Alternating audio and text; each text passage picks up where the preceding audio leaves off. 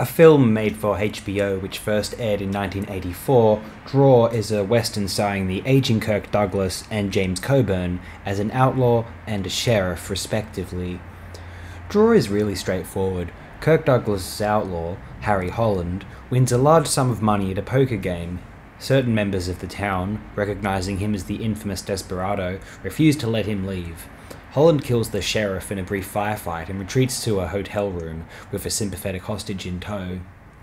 James Coburn's Sam Starrett was once the arch nemesis of Harry Holland, and he's encouraged out of retirement and out of the bottle in order for him to finally bring this criminal to justice.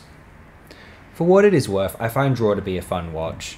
I really like the energy and charisma of the two veteran actors. Their chemistry is great, and they bring a level of believability to their characters which makes this production very watchable.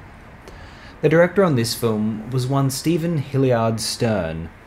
Stern had directed countless American telefilms since 1977.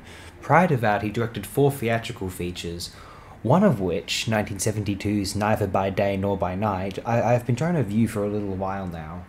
Seems like an interesting film. It might be, anyway. I've actually seen some, uh, some of Stern's other work.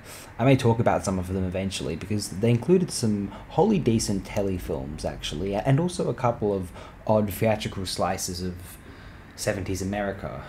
I'm referring to 74's Harrad Summer and 75's I Wonder Who's Killing Her Now. They may be worth discussing one of these days. But, but yes, Draw is not one of the great westerns of all time, but I find it very fun. I'd give it a thumbs up, quite happily. If you get the chance to view Draw, do let me know what you think of it. I would love to know. Have a good one.